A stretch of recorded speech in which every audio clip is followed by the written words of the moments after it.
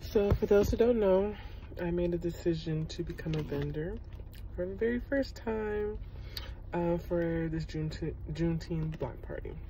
Uh, now it may seem small to some people or to people who've been doing this, but it's a very huge milestone for me just because um, it's getting it's going outside of my norm it's going outside of my box and um, i really wanted to push myself and give me a time limit so that way i can see what mistakes i've you know done or see what i can pull pull off in less than two months literally so currently i'm going to show you my process my journey of what i had to do um, to the preparation for before during the um, during the event and then afterwards. So stay tuned for that. Tomorrow I'm going to be working on some things and I will be um, filming filming uh, what I need to get done. So right now I'm working on the website.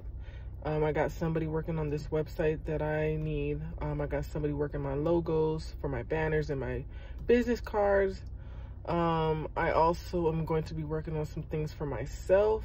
Um, so that way I'm just doing a little bit more research, you know, so that way I just feel comfortable and I just want to get things out the way so that way I'm not procrastinating because you know, you, you know me by heart. you know me. Sometimes I can be just a little procrastinating, but I'm getting better with it.